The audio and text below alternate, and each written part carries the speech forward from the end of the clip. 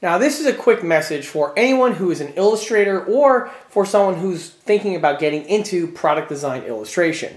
If you want to know how to do a box art, learn from the masters because this is how you box art.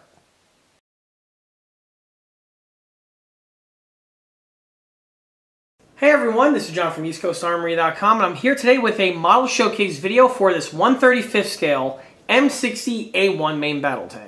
This model here was built for commission and belongs to a private collector. Like I often mention in these build videos, I frequently take on commission build projects from models ranging between 135th scale and 1 6 scale.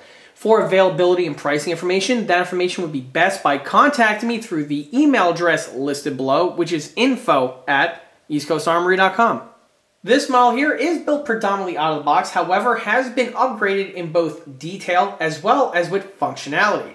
We'll be going over all of these additions as well as reviewing the base starter kit in this video. So stay tuned because there's going to be a lot of info coming at you. Well, let's start things off by taking a quick walk around this model. And this vehicle here is the ubiquitous M60A1 main battle tank. For anyone wondering, this vehicle was the mainstay of the U.S. Armored Corps from the mid-1960s and served all the way up until its retirement in the mid-1990s. In a nutshell, these vehicles were designed with lessons and design cues that were learned and approved upon from the M48 Patton family. The two vehicles aesthetically have a lot of similarities to them. They both utilize an all-cast bathtub hull. They both utilize a similar torsion bar suspension with external shock absorbers for extra rigidity. They both utilize an all-cast turret, and the M60 borrowed, or I should say was influenced from the M48 A3, with being a diesel-powered vehicle. Unlike the M48, which was originally intended to use a gasoline engine, the M60 from the get-go was using a turbo diesel engine. The M60 would keep this engine all the way up until the end of its service life with the US military. Many of the other fittings were also backwards compatible, namely the components which would commonly need to be replaced in field. These would include the majority of the running gear, such as the track, sprocket, and even the road wheels. Although on the M48 the road wheels were stamped steel, and on the M60 originally they were intended to utilize an all new wheel design made from cast aluminum. The cast aluminum wheels were thought to be an improvement because they saved on overall weight of the vehicle. Having said that, the M60, it's not uncommon to see these vehicles with the aluminum wheels replaced with just your standard stamped steel wheels, which were basically identical to the ones found on the M48 series. Where the M60 was really more improved from the 48 was really with the geometry of the hull as well as the turret. The M48 utilized a blunt frog nose type nose, while on the M60 they went with a more pike, sharp edge type format. This was deemed to give better ballistics for incoming rounds from the front of the vehicle. The vehicle's turret, the M60A1 specifically, had the needle nose type pattern, which again gives for better ballistic protection. One major improvement from the M48 to the M60, however, was with the firepower. The M48 always utilized for a majority of its life the 90mm gun. However, with the advancement in Soviet armor technology and design, this was deemed to not have as much effectiveness as it did when the M48 was originally developed in the 50s. The M60, on the other hand, was going to utilize the NATO standard L7 105mm rifled gun. With this new gun, the vehicle was going to have adequate firepower were dealing with the majority of the Russian tanks which were being fielded and were on the drawing board at that time. Apart from the main gun, the other armament changes, which were arguably a step backward, was for the 50 caliber machine gun on the M48 utilized ubiquitous M2HB in a little mini commander's cupola turret, while the M60 kept the mini cupola turret idea, but the M2 was replaced with the M85. For the vehicle's coaxial armament, the M48 utilized an improved version of the M1919 Browning, while the M60 was going to utilize the brand new M73 machine gun for this role. Just like with the M48, the M60 utilized a over-the-gun mounted xenon searchlight. The device was the exact same unit and was another one of those backwards compatible items. The M60, like I said before, was in service for a really good chunk of time, and it's deemed to be one of the more successful tank designs post-World War II. With 30 years of experience with the US military, the vehicle is still in service as of the date of this video with several other countries in the world today. Over the years, the tank's design has proven to be a very adaptable platform. With this in mind, many of the countries that utilize this vehicle have developed aftermarket and upgrade packages to keep this vehicle relevant for the foreseeable future. Before we go any further with the video, let's go ahead and take a step back to when this model was first started in order to get a good idea on what the base starter kit supplies you with. And here's the model at the start of the build. For the base starter kit, I'll be utilizing this Tamiya vintage re-release of the M60A1 medium tank. Now, this is a kit that I've been wanting to get my hands on for a little while now. Now, for the quick background, the Tamiya M60A1 kit is one of those classic model kits that was hugely influential and is still with us today in, albeit a modified state. This kit here was originally released by Tamiya back in 1970. This was, along the lines, one of Tamiya's second generation model kits. Their first generation kits date back to the mid 1960s, and from there they went ahead and improved their tooling, and some of the newer kits that were dropping was the Panther Alpha A, and also this M60. This model here was originally designed first and foremost to be a motorized model kit, and you're going to see that once I crack the box open. Now, at the time of release, Tamiya offered this kit in two flavors. The first flavor is what we have here, and this rendition of the kit would have utilized a box very similar to this one with this very beautiful and exquisite box art. And when I mean beautiful box art, I definitely mean it. The 1970s time period is when the Japanese model kits in particular had just their A game with their illustrators. This is true for not just Tamiya, but also brands as Nichimo and Bandai, not to mention Fujimi. All of these Japanese kit companies, the box arts of the period, if you ask anybody, will tell you were just above and beyond what you would see normally. Now, in addition to this gorgeous box art, what you would also get was the model with a two-way wire remote control. The gearbox would have two motor drive, and that would go via a long wire to a handheld little remote that held the batteries, and from there you can actually drive the model and actually play with it. Now that's with this rendition. The other rendition of the kit was a little bit simpler. It utilized the classic to Tamiya white box background, had the graphic of the vehicle in the foreground, which again, the illustration was actually pretty good, but nothing compared to what we have here. And that kit was designed to be single motorized, where you have a one motor gearbox where you just drop in two C batteries inside of the tank. There's a built-in switch. You hit it one direction, the model goes forward. And if you go the other direction with the switch, the model goes in reverse. That rendition of the kit can also be built in a static form, but seriously, why would you want to do that? Because part of the charm of these Ultimate kits of the period was the motorization aspect of it. Now, Tamiya did this for a period of time throughout the 1970s, but in the 1980s, they decided to start trimming off their catalog, and the dual motor gearbox kits, regrettably, were axed in favor of the white box. Now, the white box kits were still being offered. However, again, towards this point here, you start seeing to me, a phase away from the motorized aspect and just went straight into the static only rendition of their kits. Again, it's the exact same kit, but without the motorization equipment and electronics that are included. Now the M60A1 was in full production with Tamiya for a number of years.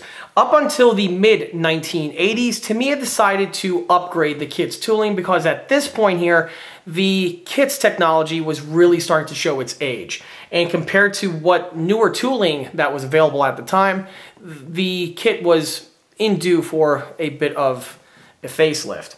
And Tamiya did that, and that kit was the Tamiya M60A3. What Tamiya went ahead and did was they took the base tooling from this kit here and polished it up, improving some mistakes that were found on the original tooling of the M60A1, but also changing out some of the other components for other type of parts which would be more relevant for the M60A3. Now, that kit was also in production for a period of time, but unlike the earlier releases, it was exclusively sold as a static model kit.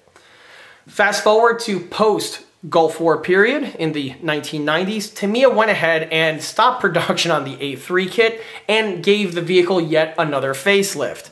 This time, the vehicle was sold as a U.S. Marine Corps M60A1, capitalizing on the M60s used by the U.S. Marine Corps during the first Gulf War. In addition to that, they also went ahead and tooled up a separate runner full of the ERA explosive reactive armor panels. And this version of the M60 has been in production with Tamiya really ever since. Now, that's not the end of the story for this kit because in the late 1980s and exactly in 1990, there was this other small startup plastic model company from Seoul, South Korea. This company goes by the name of Academy. Well, around this time, they wanted to tool up some 135th scale plastic model kits, but tooling up your own kits is actually a very costly endeavor. So they had the idea of simply taking existing Tamiya kits and just reverse engineering them and producing them themselves. In 1990, they released their rendition of the M60A1. Only their kit featured a few other additions and modifications compared to the stock Tamiya unit. Some of the additions would be a different xenon searchlight, as well as they too developed their own explosive reactive armor add-on armor runner sets. Now, outside of that, Academy also went ahead and polished up some of the other areas on the Tamiya kit, which Tamiya left from the original 1970 release, theoretically making the Academy kit slightly more improved compared to the Tamiya rendering. And basically, it's the Tamiya's tooling at its final form, so to speak. Now, enough with the South Korean variant. When it comes back to the good old Japanese version, Tamiya kept their US Marine Corps M60A1 in full production, basically even up till today. So a good 20 years of production status, which is nothing to sneeze at. However, by 2013, Tamiya decided, and it was actually a really good idea, to, well, revisit many of their classic kits that really were no longer in production for a number of years. Now, Tamiya does do this from time to time. They'll re-release vintage kits on a whim like their, like their vintage Matilda or their M60A2 Starship. And well, in 2013, they went ahead and re-released their M60A1. But unlike many of their other re-releases, which were generally the white box format, for this variant here, they wisely chose to re-vigor the old beautiful box art like we have here. Now this kit here was supplied by the customer. He purchased it a number of years ago and has been sitting basically in his collection ever since. And he told me he did not want to touch this build because he loved the, the box art. It reminded him of the kits that he used to build back in the Army that were being sold at the PX, although he specifically said they were the white box pattern compared to this variant here. Now, for a while, these kits were actually pretty prolific. As we all know, Tamiya does have some very good distribution, and these kits were being sold literally everywhere online, from eBay to Amazon. And they were sold for, well, relatively average prices, anywhere between 30 to 40 US dollars. Well, recently I went ahead and checked the prices of these re-releases here, and they have risen astronomically in price. It has been a number of years since these kits were released, and now these kits themselves are collector's items in themselves. By the way, the original version with this box art with the two-way two-way wire remote, be prepared to spend a lot of money on. Those kits always fetching buco bucks just because of their rarity and for their collector status. Those original kits retail anywhere from 150 to about 300 US dollars. So if you're going to buy one of those kits, don't build it, just keep it as an investor piece and just keep it original. It's just, it's one of those things it's really hard to do, honestly, because I have a few of my own collection and they do beckon to be built and be built well, but they just, it's kind of like the Ark of the Covenant. You don't want to touch it. now, although these kits have increased in value at the time of filming, I went ahead and tried to look online at their prices, and they retail around 70 to 80 US dollars. And I've even seen one guy try to sell for 120, which, in my opinion, the guy is really price gouging. Now, I'm curious when I crack open this box. I don't know what's inside of it. Obviously, it's going to be a Tamiya M60A1 kit, but I'm not sure if Tamiya is cool enough to give you the two-way wire remote system or if it's just a static kit that is just wrapped in a pretty box art. But since it's still wrapped in the shrink wrap, this is going to be discovered by all of us during this video. Now, with my handy dandy steak knife, I'm going to go ahead and crack this box open so we get a good idea on what the base kit is. Now, I'm going to be careful. I don't want to do any damage to the box itself. All right, we're, we're committed now. it's official. Right. With that out of the way, let's go ahead and take a quick look first at the graphic design because this box art really really demands it. Now, here we have the M60A1 Obviously, late 60s, early 1970s, all in its dark olive drab configuration with its markings all laid out. Now, all of these vintage box arts really have a scene and but you know by and large most like artworks you see have some kind of a scene like a tank driving on the road or a bombed out city or and a lot of times some action. But these old Japanese box arts they really take it to the nth degree. One thing I always liked about them is that you get to see a lot of the painterly brushstrokes, but yet at the same time, the renditions are extremely detailed. And you can see that here on the running gear, the tracks, as well as also the little finer details like the red painted fire extinguisher, little grab handles, even the gypsy rack has its mesh rendered in. Now the scene itself depicts this M60A1 that's Looks like he's just parked over here, giving cover for the other M60s, which are actually fording this river that's directly behind it.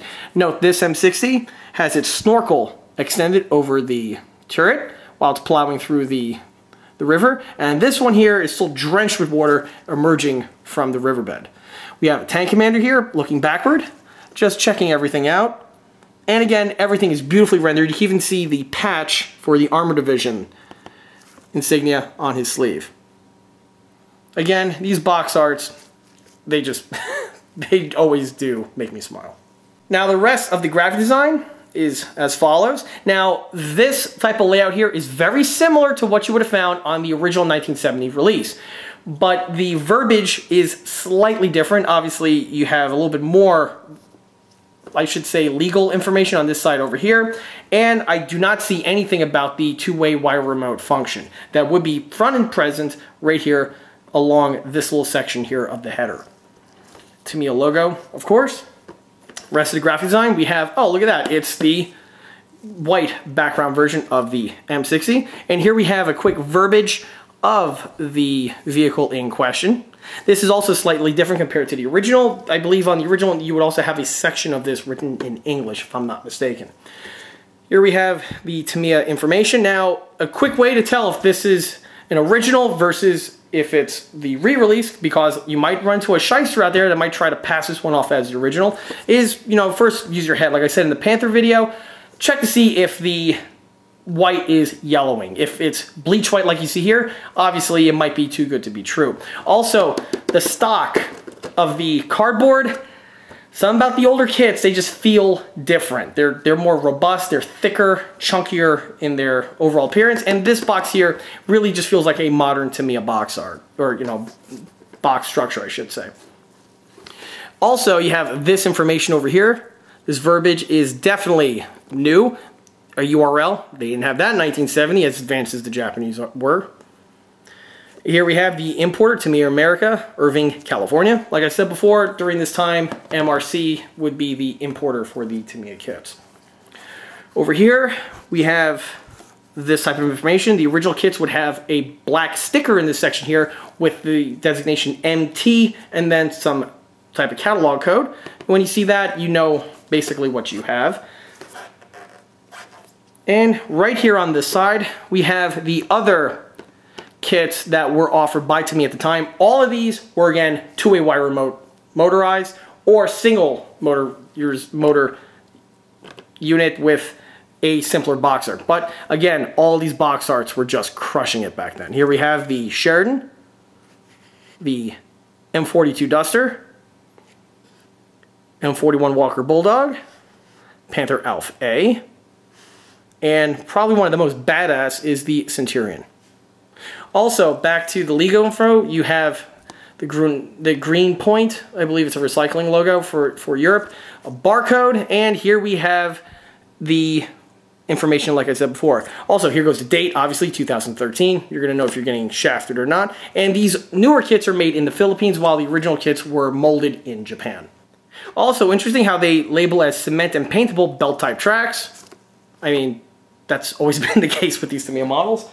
Okay, with the box top off, here we have the kit's contents, and like I predicted, it is not motorized. No! No! Starting, well, with the rubber band tracks, they are made with the original Tamiya molds, or what they appear to be the original Tamiya molds. They are single piece. These replicate the chevron variants of the M60 track. Now, these tracks here are going to be considerably dated compared to what we're used to today for both rubber band tracks, but also the type of detailing found on them. This is one of the changes that Tamiya made when they upgraded the kit in the 80s and into the 90s to replaced these with the octagonal pattern track that I mentioned in another video. Now, on the inside portion of the track is going to be really noticeably simplistic compared to, again, the type of tooling we expect today. But again, for this type of kit, it's part of the charm because it is a vintage re-release. On the inside portion here of the track on the sides, you would have some skeletal structure exposed, which holds the rubber track pads in place. Here we have the inner track pads, and most notably on these old pattern kits, the guide horns, well, one, they are rendered averagely okay, you could say. They do have their basic shape to it, but a little bit on the smaller side. But most importantly, if you haven't caught this yet, you need to really start looking at tanks more in depth the horn is in the center of the link as opposed to the break point here, or I should say the hinging section, in the middle. As we know on the M60, is just like with the Patton as well as the HVSS Sherman, the guide horn would be connected to the connecting rods that are found on the two end connectors that we have here. On the old kit, that's just not the case. The material feels just like any other Tamiya rubber track, and it's nice and flexible, which was originally good for its motorizational use, and possibly again. And here we have the runner, and back in 1970, this is what you got. Now, if anyone is a fan of the M60, and you're looking at this piece here, something should be off. And if you know what it is, congratulations, you know the tank. In the middle section here of the turret, there is a cutout that is found in the turret casting. And the purpose of this cutout has to do with the driver. When the turret is in its storage mode, it's positioned directly rear of the vehicle. And because of this, you need this cutout just so that the driver can crawl in and out of the vehicle when the turret is in this configuration and that is not present here, but this was added by Tamiya on their M60A3 release. Also, another difference between the 1970 tooling and the tooling that came after had to do with the mantlet and the mantlet on the mini turret. On the original Tamiya release, the mantlet did not have the canvas tarpaulin present and it was bare exposed, which is actually an oddity because most of the M60s you'll see made have that tarpaulin in place. I'm not sure about the the recent releases from AFV Club because I believe they addressed that, but for the longest time, if you wanted to render your M60 without the mantlet, you're basically left trying to find one of these older kits from 1970. Same is also true for the mini turret. The gun can go up and down, as can the main cannon. And here we have the mantlet sans tarpaulin as well as the version for the cupola. Also on the cupola, you'll notice that it has this little split running down. This is so you can position your figure in the turret without him falling all the way through. This was changed on the later re-release. Here we have the 105 millimeter gun. This has basically stayed the same and is present on the other renditions, albeit it's more of an appendix as it's something that you really don't use as they give you another barrel that has the thermal sleeve on it, specifically for the A3. Here you can see the shape and note the mounting points for the grab handles located on the turret. And it, again, it looks the part. Now another difference is with this little tab we have here. On the original releases, you would have the Tamiya logo, and it would say Tamiya Plastic Model Company, and then the bottom says Made in Japan. On this version here, that is just milled away, and it's just bare plastic. And it would also have the date of 1970. On the reverse though, they added some more modern information, saying that it's polystyrene, and we have here a barcode, but the, oddly enough, 1970 Tamiya is still found on, only it's on this section of the runner as opposed to the center tab. This runner here contains the wheels. Note that they are the aluminum pattern wheel, which would be appropriate for an M60A1, although steel wheels were still utilized on the vehicle all the way up to the end of its service life. Note the detailing found on the rims. Just like with the other one, they blocked out the original Tamiya Plastic model company information. But other than that, the tooling is identical to the old 1970 release. Digging down further takes us to this runner here, which again should look standard for anyone who's built one of these Tamiya kits. Here we have the suspension, namely the torsion bars, the side panels, which get glued to the tub, your tank commander, other odds and ends found on the lower, and your sprockets. Now note the sprockets on this model here are vastly simplistic compared to ones found on other renditions of both the Tamiya and the Academy kit. However, this these pieces here are actually still supplied with those models, be it in an appendix form. Note it has the little hex section in the back here because, as we all know, these Tamiya kits were motorized and you would have a little nut which would engage on the sprocket and that's what would prevent from slipping and would drive the track. From the sprockets, take us to the final drive. Note it had that little L slot. This was so that you could insert the gearbox and you can adjust the track tension. But because this model is basically only designed to be static in this release anyhow, they went ahead and blocked that off and just had that little hole for the axle for the sprockets. Here we have the lower hull, and this is basically left absolutely unchanged. And that's not just true for the old version of the Tamiya kit, but literally every single version of the Tamiya M60 kept this exact same form. Here we have the section which would be the battery tray for the single motor unit, where you would have these dividing bulkhead walls, some electrical prongs, and this here would be your switch, which would descend from the bottom of the hull.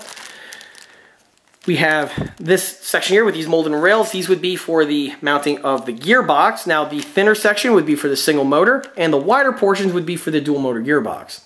This little oval would be for the gearbox mounting fastener where again you have some adjustability. Then we have these giant open windows that kind of gives you a face but the windows, I believe, are for the wire, for the two-way wire remote to exit out of the bottom of the tank so you can drive it. There's also this hole here, which can also be used for that purpose as well. These two ovals, they're still basically a mystery to most people out there, but they have been a bane on the Tamiya kits for basically since 1970. Now on the Academy tooling, it's basically the same, but Academy went ahead and polished the hull by removing all of these sections that we have here.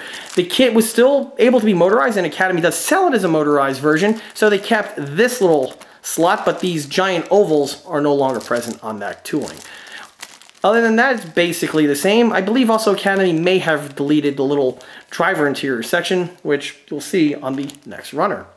And here's that runner here. Here we have the driver's Interior detailing, it's a bit anemic, but hey, it gives you something. The driver's hatch is able to function, as are, I believe, all of the hatches actually on these old original 1970 pattern kits. Later on, Tamiya would remove this, and on the other versions that came after this, only the bow hatch here would function, and the other two would be glued permanently, either open or closed. This is the engine grille. Note the lack of any detailing found on the rear taillights. Tamiya kept this exact same format. In fact, this exact same runner all on their M60 pattern of vehicles.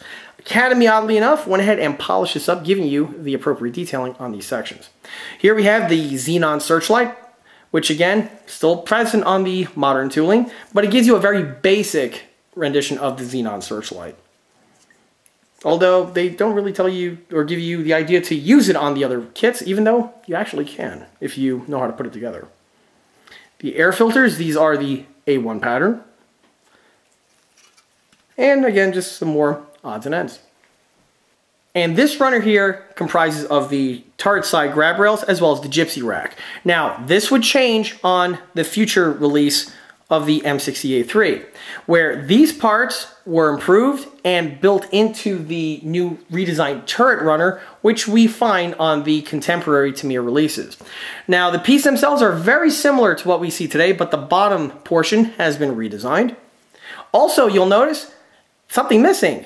That little square piece of black mesh, which come on these kits and are always a pain to cut and bend to shape, even though you follow the instructions. Yeah, that's not present on this model. That was an addition that was added by Tamiya on first their M60A3. So on these old kits here, you're gonna be meshless, which is not hard to solve today with the advent of PE mesh and other sorts of materials along those lines. On the bottom of the box, we have here the polycaps as well as the steel axles. Now the polycaps on the old Tamiya release have their hubcaps built in. And this was something that actually hurt the look of the model because on the real M60 the hubcaps would be attached to the front face of the road wheel. While on this one here, the wheel would spin and the hubcaps would stay static. Why this was a bit of a ding on the kit is because with this design you do have a gap around the section of the road wheel for, just so you have the clearance for the unit to spin. Now this would be kept on the M60A3, but when Tamiya redesigned the kit their final time in the 1990s, this whole setup was changed and the road wheels would have their hubcaps molded in. But on that release, they were no longer the aluminum pattern road wheels, instead they were the steel wheel variants. This now brings us to the instruction sheet. Now this looks similar to the original, but it's definitely completely new. But they did give it the old look and feel of the original.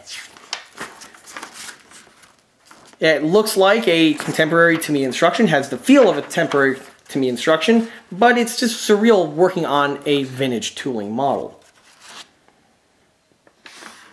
Now this is something that is has definitely changed. On the old Tamiya kit, you do have to drill these sections out here. Now, on this, they tell you to use a pin vise. A Dremel would work because, you know, this is sane. On the original one, that's not the case. The original one, they the Tamiya kit gives you, I'm not making this up, a pointed metal rod that you're supposed to heat with a candle and jab into the turret into these locations here in order to hollow them out. 1970s, were a really fun decade, apparently. but they evolved and now tell you to use a pin vise. And that's basically it. The instructions are predominantly, again, it's a Tamiya. So theoretically you should be able to shake the model and everything should go in place. Now the kit does give you two options for the markings. You have here the one with the gold 12, which is on the box art, or they have this other version here with the Griffin. Obviously, it's your choice which vehicle you want to render. And here's the model now going through its production phase. Here you can see the lower hull that has its running gear in the process of being completed. You could also see the hull segments that have been glued on. And this is par for the course for the Tamiya as well as even the Dragon kits for that matter as well. Now you'll notice that there is going to be some bodywork requ required on these sections here. Again, this is pretty much normal eh, to what you'll expect to see on these kits. Now it's from this point where things are going to change. If you'll notice on this little section over here, this originally was molded close so that you have a hole directly in the center for you to insert a steel rod because the model would normally be static. But one of the modifications that are going to be made to this model here involves this magical system. You see, this model here is not being built as a static model. Instead, is going to be modified to be a motorized kit, basically returning the model back to its original core form. Now, this is not my idea. This was actually the idea of the customer who hired me to build this tank. You see, recently I completed a 135th scale M60A1 Rise with the M9 Dozer Blade build, and on that model I went ahead and modified the stock kit to be motorized. Well, the customer liked that video so much that he really yearned to have something like that for his own collection. So he went ahead and sent the kit over to me in order to not only build the model to its completed state, but also to motorize convert it. Now, like I said in that other video, of all of the model kits that are on the market right now, probably one of the easiest to motorize convert is the Tamiya M60A1. Like I said earlier, these kits were basically designed from the ground up to be fully functional. This has to do with both the size of the model, but also with the way the build is designed and comes apart. Right here we have the rear power pack. Note the ample amount of clearance in this section over here for the gearbox specifically. And with the way the M60 hull is designed, you don't have really any major seams to give away the purpose of this build. This is true, by the way, for all of these Tamiya tanks, which were released during the same period of time. They really designed these kits pretty well in this regard. Now, on the M60, it seals up right here on the front with its knife blade front. And on the back here, with the way the engine deck is designed, you are going to have a small little seam in this location, but this is as per the real vehicle. And with the little section on the front, the seam is so minute that honestly, you're not really going to notice it. Now, on a vehicle like the M48 Patton, which by the way is similar along the lines of ease of motorization conversion, it's a little bit more noticeable because of this the shape of the frog nose. But on the 60, that's not the case. Now, in order to motorize convert this kit, so far, the model is just being built directly out of the box. The only modification I made was, at this point here, the deletion of that little piece of plastic, which sealed this section off, making it for static display use. Now, from this point, this is where this unit comes in handy. These gearboxes have been showcased on this channel on several other builds in the past because they are extremely efficient and are also very affordable for doing a conversion like this. The units come in an unassembled state and you basically just follow the instructions and at the end you'll have your twin motor gearbox. Now this gearbox here can be used for motorization conversions like I am here, but this is the type of gearbox that you can actually use to RC convert a small scale model. Since it is dual motor drive, you can go ahead and have a separate electronic speed controller dedicated to each of the motors, which will give you the ability to independently steer each track, thus giving you the ability to drive the model radio controlled. These gearboxes are very durable. The gears are plastic, but they are broad sectional plastic, which is fantastic. They do hold up pretty well. And again, these units have been on the market since about 1995 now and are a really good source to RC or motorized convert your tank model. The only limiting factor, however, is just the cross-section and size here of this unit. If you're working on a smaller vehicle like an M113 or an M5 Stuart, this set here is probably not going to work for you. But for the larger size vehicles like the M60, M48, or like the Type 74 that I mentioned in a, another video, this unit here is perfectly suffice for your application. Now, the unit can be configured in one of two ways. Actually, more than that, you can have the shaft mounted a little bit higher, but that's not really useful for the tank use. But another way that this unit can be assembled is with a different type of gear ratio. You have two settings, standard and low. Now, I'm yet to build and try the system with the low setting.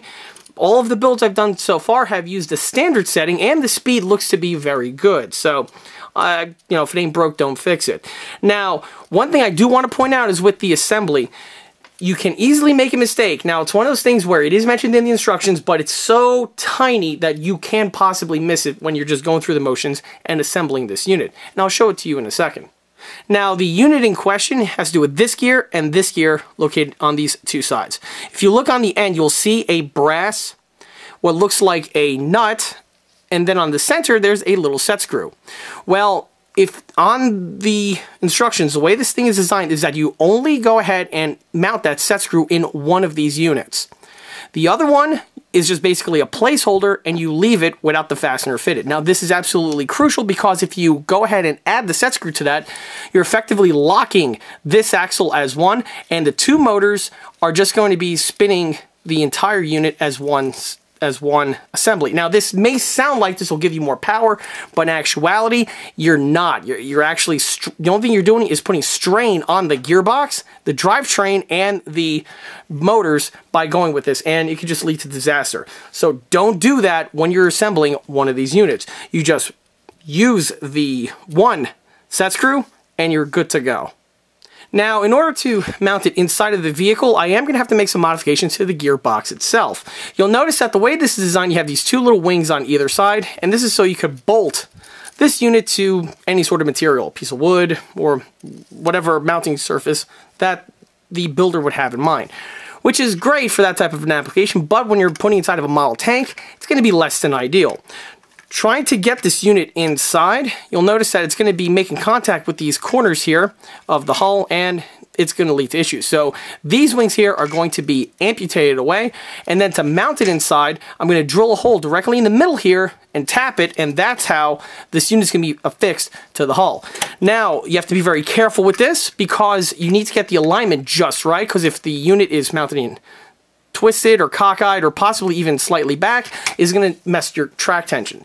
So the way I learned how to do this is you want to keep it as dead center to the static location as possible. This will give you the nice track tension that gives you a good overall look and appearance to it, but it's the gearbox is more than capable of being able to propel the track.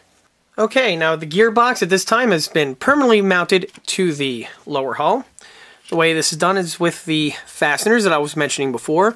Only on this build I did something slightly different. I went ahead and used two fasteners to line it up as opposed to the single fastener which I've used on previous builds. Now these fasteners are kit supplied with the twin motor gearbox so I already basically had everything on hand that I needed.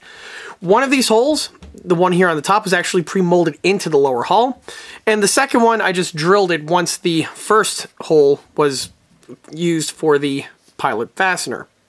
Loctite was utilized just to keep everything in place and to prevent anything from rattling loose. Now here's the gearbox, now fitted. A lot of careful measurements were done, make sure it was nice and even. Now this is one of the best parts about using this system on a vehicle like the M60 is just with the design of the hull with the engine deck how it goes up here in the back it just gives you so much space and it basically clears the extra heft of the gearbox almost perfectly. I just line this up. There you have it. it's like it was just meant to be. The pairing of this kit with that gearbox system. Note the drive spindle is basically in the center. It's a little bit to the left of where it was originally, but it should be perfectly suffice for being able to propel this tank and keeping the track tension at a nice constant rate. With the hull basically now wrapped up, the next area to focus on is the bottom portion of the turret. Now, like I showcased before in the unboxing section, on these old vintage Tamiya M60A1 kits, the bottom, which is represented with this older kit over here, is totally flat. There's no little inset over here, like you see on the later re-release versions that Tamiya did in the 1980s. Now, the purpose of this little indent, like I mentioned before, was for clearance for the driver to get in and out of the tank if the turret was located in its travel mode towards the rear. Now, this here is the kit that I'm working on, and you'll notice that I'm going to add this little bit of missing detailing, which will bring up the kit's quality and detailing from the stock original that we have on this side over here. Now to do the procedure, I went ahead and took this turret, I masked it off, and I actually made a template so I can take this shape, lay it over any sort of old school Tamiya M60A1, and this will give me the basic shape and location that this piece goes. Now keep in mind, on the real tank, this is a rough cast textured piece, so the shape can have some slight deviations to it and still be perfectly suffice. I went ahead and cut out this little section, but I left this tang portion and I just bent it inward. Now from here, this is going to give me a good base and skeletal structure in order to add the epoxy work that's going to further flare this in, making it more representable like this version that we have here. And with the model now complete, let's go ahead and start with the model's lower hull and suspension.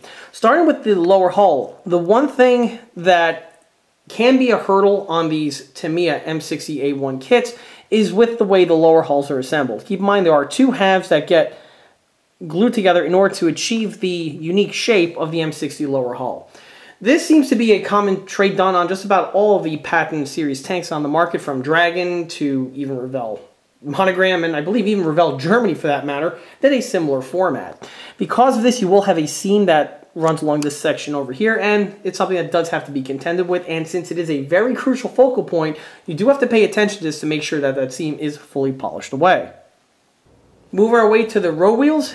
All of the components assembled basically effortlessly because, frankly, it is a Tamiya after all. The one thing I do want to point out is with the torsion bars, when you assemble the swing arms on this model, there is a little bit of play on exactly what orientation the torsion bars can be set at. Why this is important is because when you're assembling the model, you want to make sure that all of the torsion bars line up.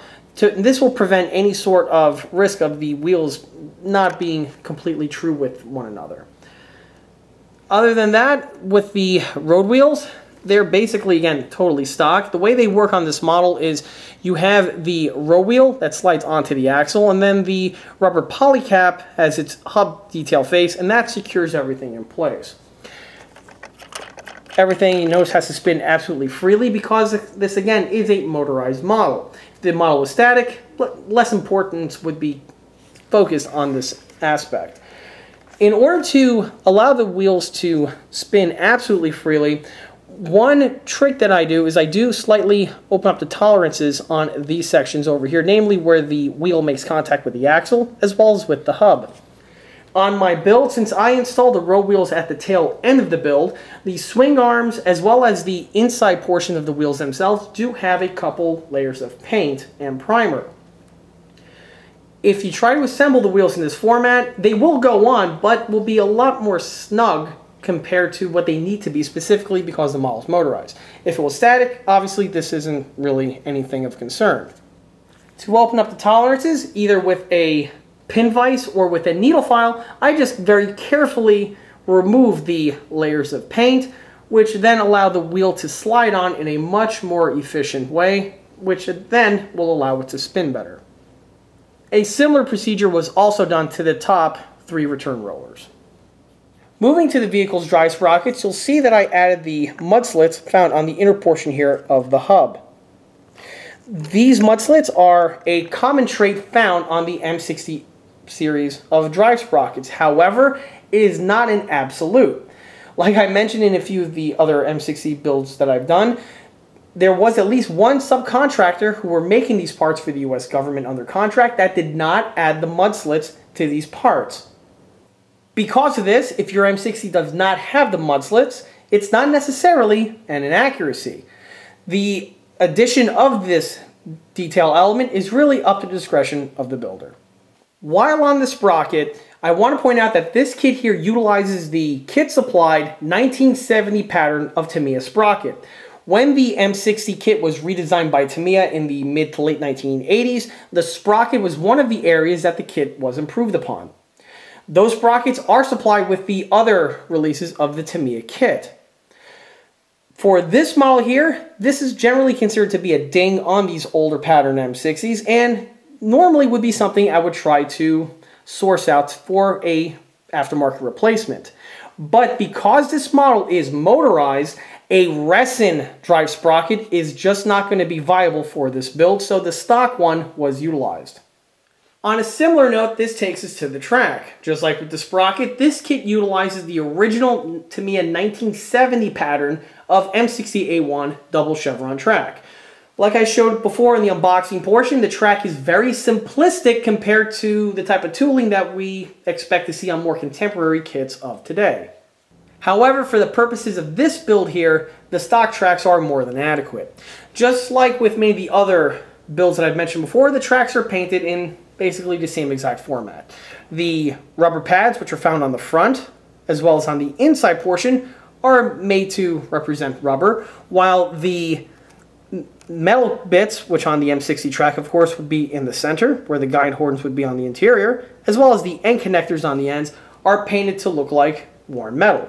If you ever looked at real M60A1s either in the flesh on display or find in action photographs of these vehicles, it's not too uncommon to encounter a vehicle with tracks in this type of condition.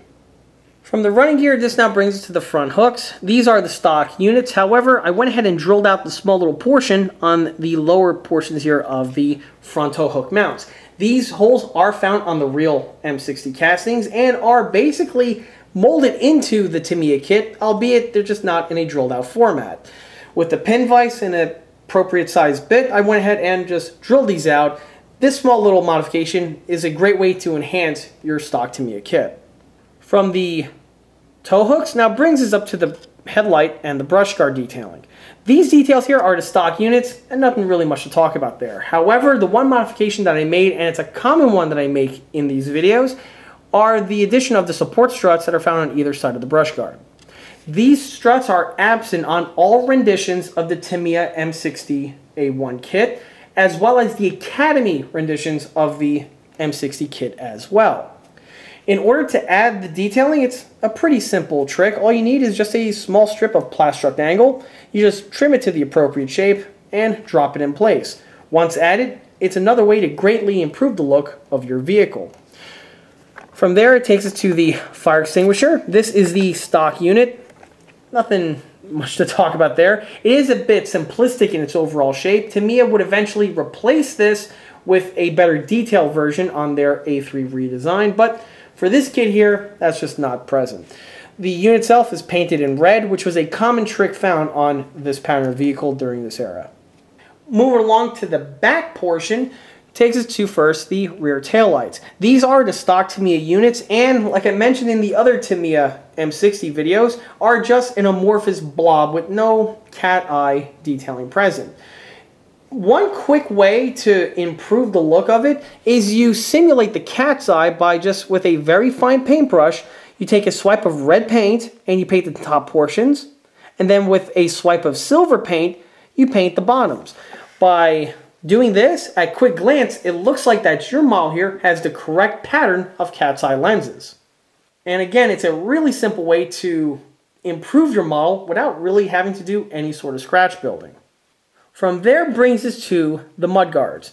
And this is one bit of detailing that is an iconic and a really cool looking bit of detailing found on the M60 as well as the M48 Patton family of vehicle. And as a modeling standpoint is always one of the more trickier bits on this tank. On the real vehicle, the purpose for these guards is that first it gives a little bit more structural support to the rear fenders, but another added benefit is that it gives a little bit of protection to the taillights to prevent any sort of dirt or particulate that can be kicked up by the tracks to cause damage to these sections over here. On the 1970 rendition of the Tamiya kit, this bit of detailing is absent and was never included. Tamiya would eventually tool these components up and supply them with the M60 A3 and A1 re-releases that again came out in the 1980s. Now for the purposes of this build here, these units are a bit problematic. Even on a static rendition of the M60, they were a bit tricky. First, when it comes time for installation, you have to carefully fit them just right, and they have a habit of twisting and falling off on you. And these pieces are one of those parts that when you're handling the model, they always seem to be the type of details you accidentally bump or nudge and fall off on you at really impromptu times. On this model here, that problem is magnified because, again, of the motorization aspect. This model, being motorized, has the risk of any dirt and particulate being kicked up by the tracks, can make contact with these sections here and causing them to pop off. Another issue has to do with access to the motor because the model is motorized, you do, for you know one reason or another, may have to get access to the gearbox, and to do that, the entire upper plate needs to come off. Obviously, that's a problem because these units tend to be anchored to the top fenders. Well, to work around this, I again had to find a source for these details because the kit did not supply them. And they didn't supply them for basically the same reason that I just mentioned because of the motorization aspect. Well, on this model here, I utilized a brass photo etch set from Eduard. The Eduard M60A1 detail photo etch set contains these details here, and they are very nicely done. The Eduard PE set really does a good job with rendering these pieces, and because they are made out of brass, makes them nice and strong. On the model here, I actually modified the Eduard piece slightly to keep the stock Tamiya rear taillights. With the way the Eduard kit is designed, you actually replace these altogether with a fancy brass box that contains the taillight in it. It's pretty wild the way they want you to put together, but a little overly complex in my opinion. But the guards themselves are perfectly adequate. What I simply did was I amputated the folded sections that need to create this section over here and just simply mounted them directly to the bottom portion of the taillight. The pieces were then bent to shape to fit around the rear fender work and are basically just held in place in one or two locations. They do not physically make contact with the rear fenders. So if you take the top portion off, these two blades stay permanently attached to the lower hull and don't make any contact with them, thus reducing the risk of potential problems with them breaking off. In my opinion, this detail set along with this installation method is a good compromise where you get the appropriate detailing which is required for the M60A1 and it doesn't inhibit in any way the mechanical aspect of this model. Moving up takes us to the rear travel lock, which is a staple bit of equipment on vehicles of this period. And on this kit here, it's built out of the box. And with the way the kit is designed, the unit is fully functional. It flips up and opens up. And yes, you can even use it to store the vehicle in the travel mode.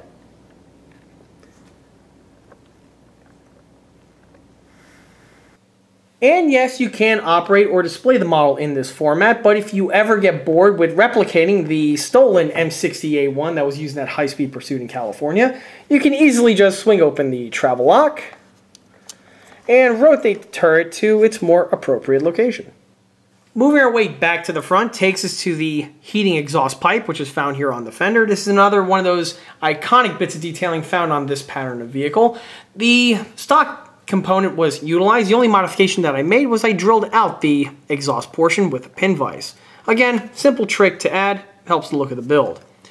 From there, brings us to the driver section. The hatch is fully functional as per the kit, and I was able to use the little interior detailing that is found in the whole driving section. Of course, this bit of detailing is very simplistic and is mostly useless, which is why Academy themselves dropped it on their kits, but yeah, you know, they, they gave it to me, might as well use it. One thing I want to point out on the hatch itself, this hatch here is the redesigned Tamiya M60A1 hatch. The original kit hatch was a earlier pattern and replicated more of the type of hatch which was used on the M48 and the original M60. The difference, of course, being is the center. The A1 has this tombstone shaped protrusion, with its periscope, backup periscope hinge section found here, while the earlier pattern was just a round disc found in the center with again a small little hinged periscope section that was found in the center. This, so far from what I've seen, is the only real difference tooling wise compared between the two renditions of the kit. And is one that actually improves it from the original offering because Generally, the A1s tend to utilize this hatch design here as opposed to the other one. The hatch itself, again, is fully functional, just slides right into place and then drops right into its home section when you hit that magic sweet spot. Moving rearward to the engine deck, pretty much the remainder of the detailing on this model is mostly stock. The Tamiya kit is pretty good in that regard some things to point out, like for instance on the air filter boxes here, on the two elbows, I drilled out the bottom portions of the intakes with a pin vise. Again, just to improve the accuracy a little bit. And I also drilled out the little holes found on these two rear lift hooks that are found on either ends. The holes, again, are molded in, but they're more of a dimple, so a nice little pass through with a Dremel or a pin vise in this case was more than enough to pull off the procedure. And that now leads us to the turret. So let me go ahead and pop it off just to show the one modification that was made. And here you can see the underside. Now that's fully completed. Like I mentioned before, this section was added because it was absent on the old pattern of Tamiya kit. With all of the bodywork completed, as well as the cast texturing, you can see exactly how much more improved it looks. Oddly enough, what's interesting to point out is that the 172nd scale ESCI kit, I believe, copied this Tamiya kit here because they too made a similar mistake with not including this divot, as well as also the more squared off shape here of the rear portion of the turret. But that's not really important for this video. Along with the added cast texturing on the bottom plate, you'll notice that I continued the texturing all throughout the remainder of the turret's surface. This alone is a fantastic way to improve the accuracy of this model. And in fact, it really does bring it up to a condition where it's very similar to its more modern contemporaries. All of the remaining surfaces were coated with texturing, not just the turret, but also the mantlet, as well as the cupola that we have here.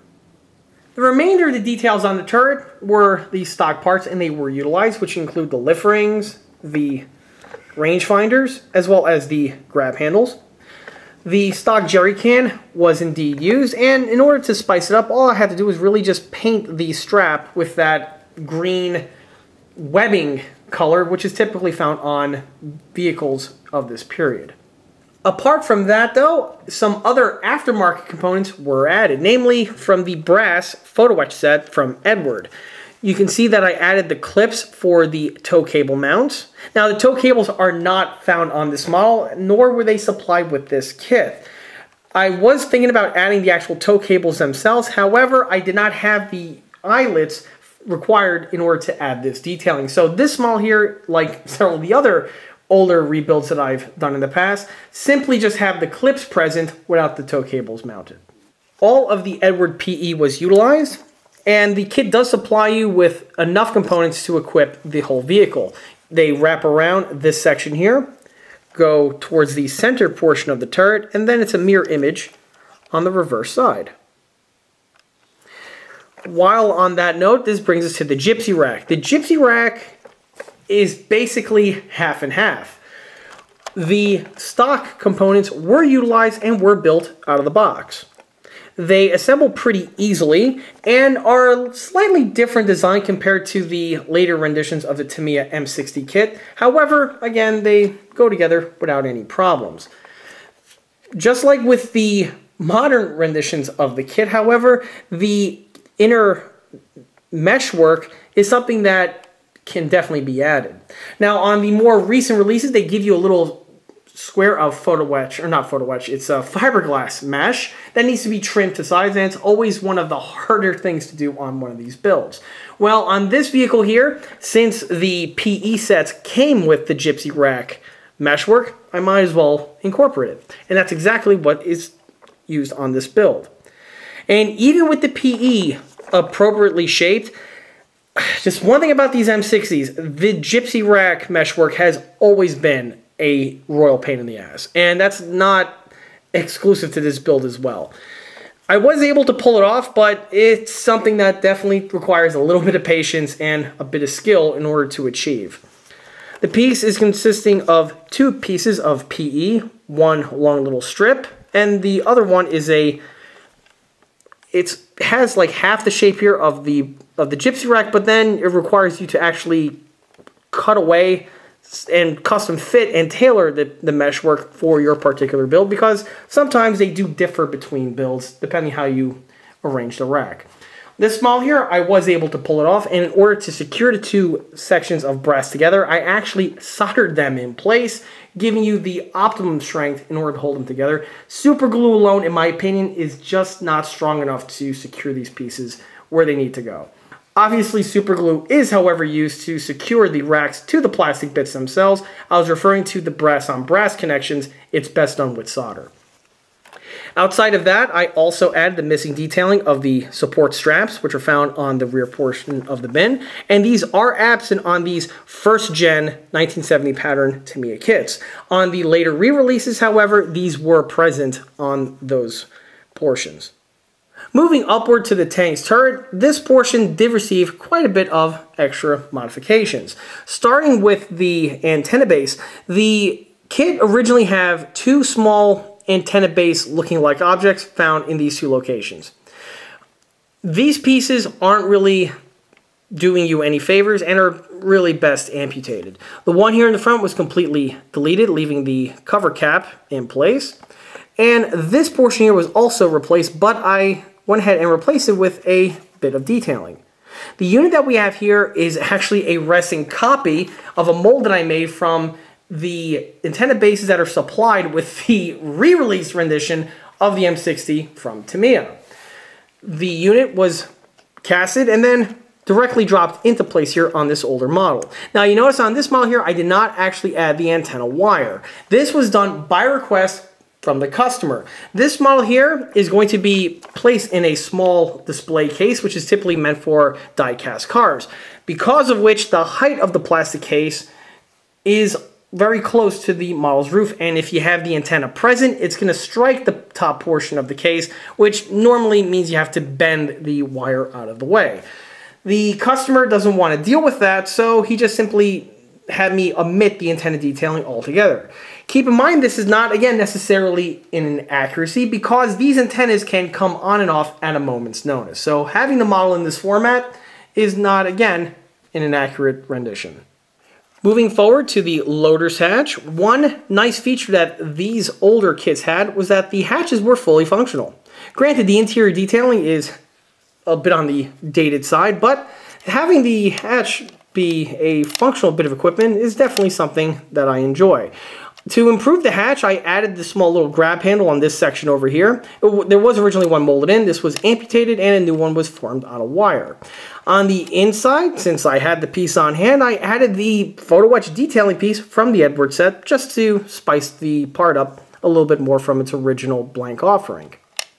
Moving forward takes us to the I believe it's the searchlight guard, and it prevents the machine gun from oversweeping and possibly damaging it if you're firing it. This piece here is a very iconic bit of detailing found on the M60 family as well as the M48, but it is absent on the original 1970 tooling. This component here, just like with the antenna base, is actually a Tamiya copy that I made a mold of. The unit was straight up molded from the Tamiya one, and cast and rested and just simply dropped directly in place. This obviously greatly helps the look of the model compared to leaving this bit of detailing completely absent. From there, brings us to the little socket. This is supplied with the kit. It is molded into the turret, however, which is actually very similar to how it's seen on the real vehicle. In order to have the searchlight wire conduit, I just simply drilled this section out with a pin vise, and then when this searchlight was mounted, a very small piece of wire was added, facilitating that detailing. While on that subject, takes us to the Searchlight. This is the stock Tamiya unit. And this unit here was slightly modified from its original offering. On the Searchlight, there are these little grab handles that emerge from the side, and these are present on the Tamiya original. However, they are molded in and are a bit chunky with their with their overall look. For the model, I just simply amputated and sanded away the original sections and replace them with new handles fabricated out of wire. These help the look of the piece and really make it shine from the original. Interestingly enough, on the Tamiya M48A3 kit, they took this overall design of tooling and enhanced it further, and that kit actually has a pretty decent searchlight for a base starter kit. On the inside, you'll notice that I painted it like you've seen on several of my other Dragon builds, where the rear portion of the searchlight is painted in silver. The bulb, however, the back portion is black, along with the inside wall sections from the remainder of the searchlight. On the face, I added a clear plastic lens. This is not present on this pattern of the Tamiya kit. and it's something that really needs to be added if you're going to model yours with the searchlight. On the lens itself, you notice I painted a little red trim around the edge, and this is found on the searchlights. I believe it might be the sealant used to keep the inside moisture proof. From there it takes to the barrel, totally stock, nothing really much to talk about. It is a two-piece assembly, which means there is a, a bit of a seam work that you have to contend with. Nothing too egregious, just a little bit of polishing with some sandpaper and a needle file was all that was required to bring it up to the condition that you see it here. Moving along takes to the cupola slash mini turret, which is an iconic bit of detailing on the M60. The MIG gun itself can go up and down, which is a unique feature found on the 1970 pattern of Tamiya kit. As we all know, on the re-release, this was changed where there's that cloth tarpaulin that's molded in. The barrel was modified where I drilled out the vents found on the barrel sleeve. This is a very tricky procedure to make, and if you don't have the experience or the tooling, you want you definitely want to avoid that because you could just lead to issues. I had that small little hole in this section over here, which was absent.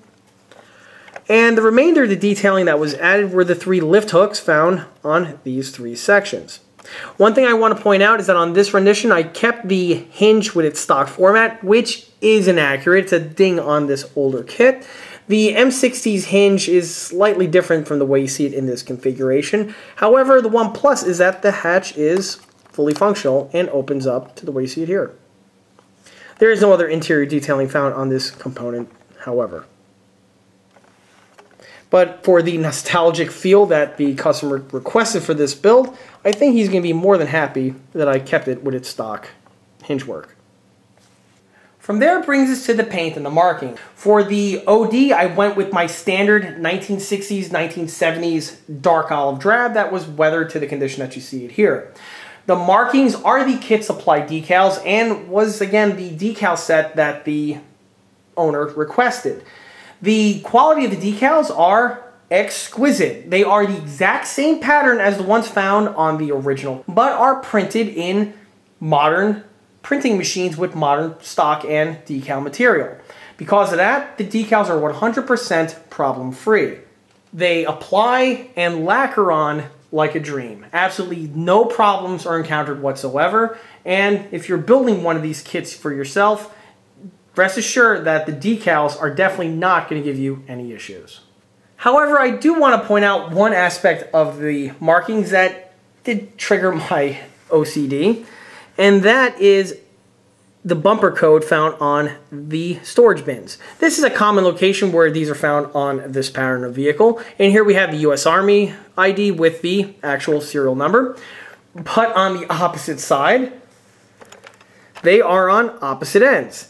This is not a mistake and was specifically requested for you to make by the Tamiya instructions. So I went, I followed the instructions literally to the T as per the client's request.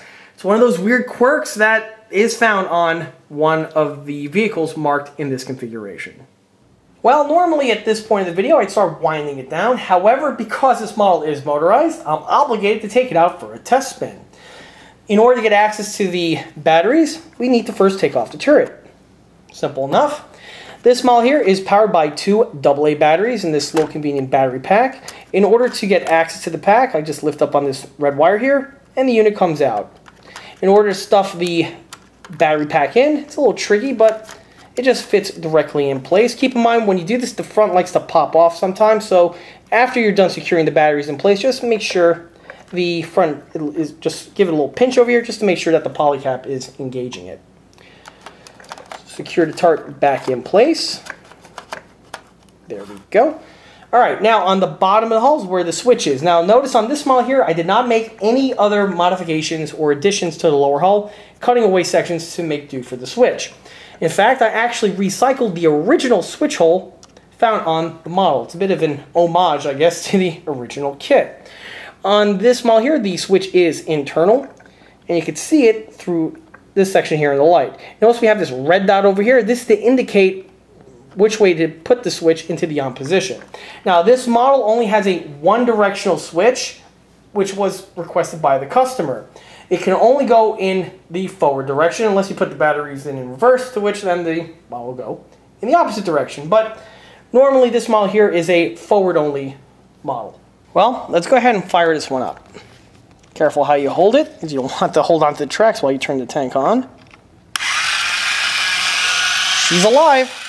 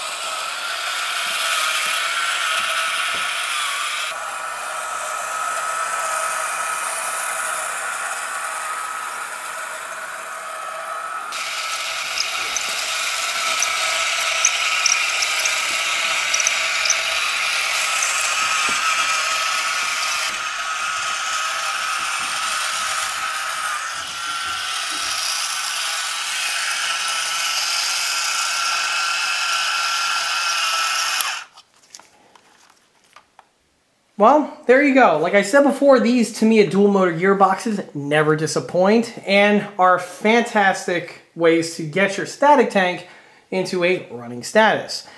They are powerful, they have a decent speed to them, and what's cool about this tank here, it even has that M60 track squeak, which is a nice little touch. In the end, I'm really happy on how this build turned out working on one of these older Tamiya kits is always a joy, and to bring it back to its core original form, i.e. making it motorized, was definitely something that I had a lot of enjoyment in undertaking. And that basically now segues us into skill level and recommendation. For skill level wise, this model here is definitely something that a beginner can easily put together. These model kits here are very simplistic and with this early rendition of the M60 is arguably even easier to put together than the other Tamiya and Academy M60s that are on the market. Those kits are in themselves somewhat very easily assembled kits, but this one here is even simpler. Outside of a beginner, an intermediate builder can also definitely tackle one of these kits. However, from anyone who is from a intermediate and up, honestly, you're probably going to find this kit to be very boring.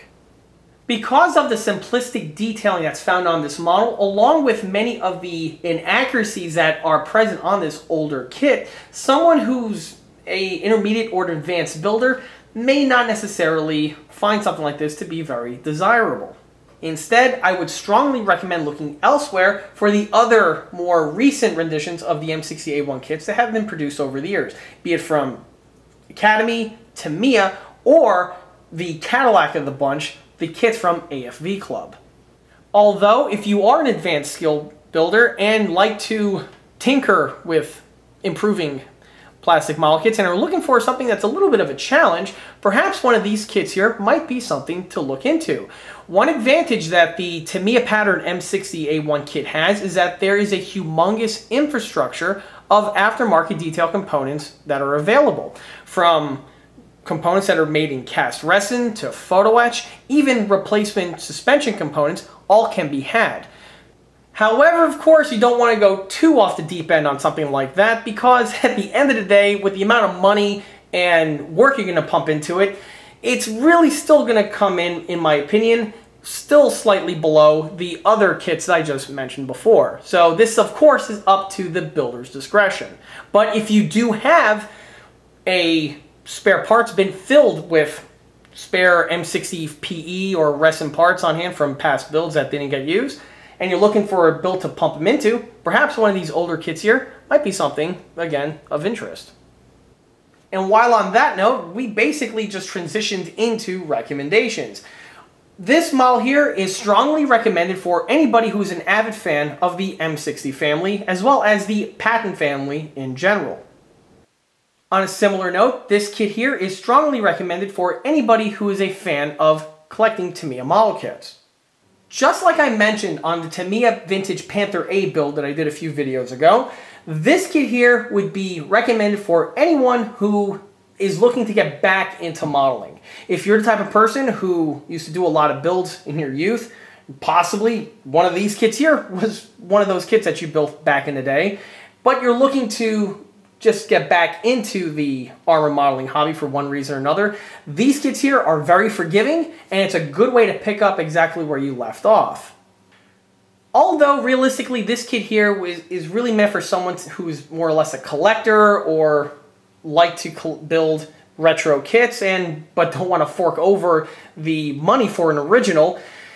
Another spot where this kit actually does have some relevance is with, oddly enough, anyone who's looking to RC or motorized convert a 135th scale plastic tank kit.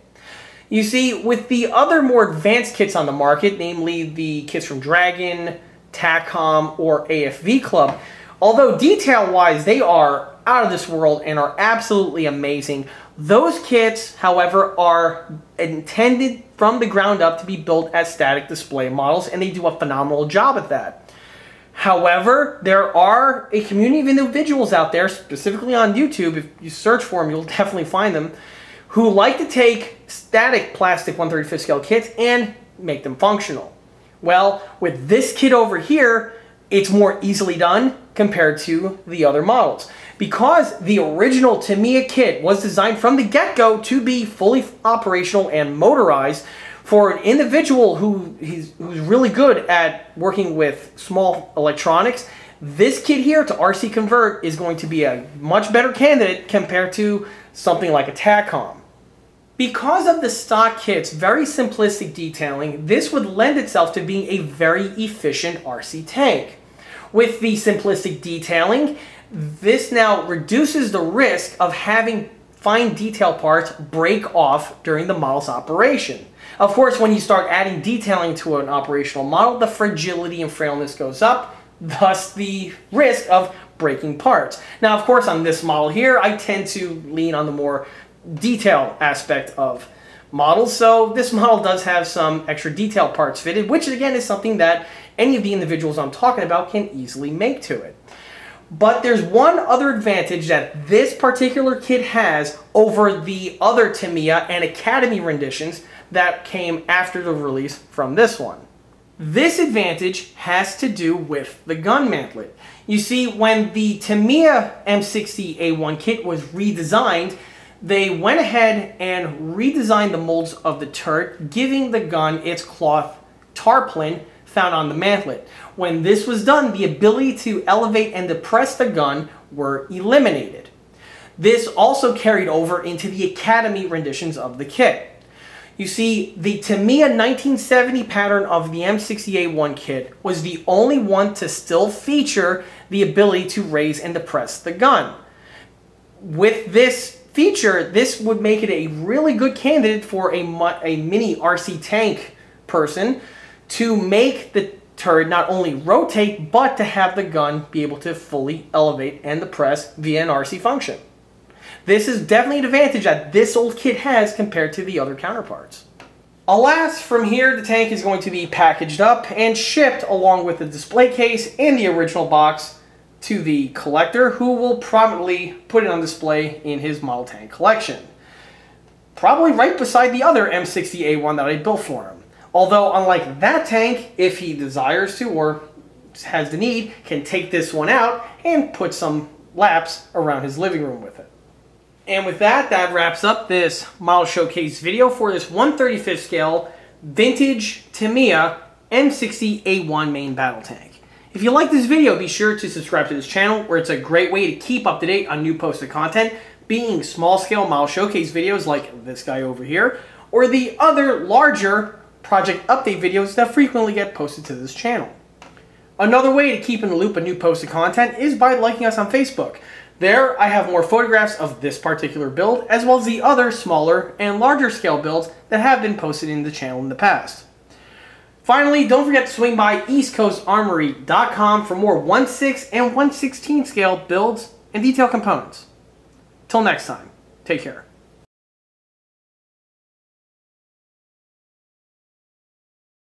Well, let's see now. The video's done, the photography's done, the pictures are up on Facebook, and the video is live on YouTube. Well, guess all that remains now is to box it up and send it off to the customer. That's a real pity. Two bags. I really did like this one. I should have built one just like it. I mean, identical to this one, with maybe one or two small differences to it. Hmm. Oh, wait! That's right. I did.